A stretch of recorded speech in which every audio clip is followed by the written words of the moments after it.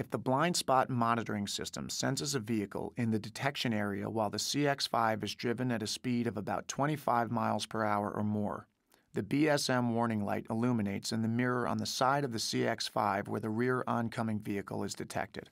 The BSM warning beep sounds and the BSM warning light flashes when the turn signal lever is operated to the side where the BSM warning light is illuminated.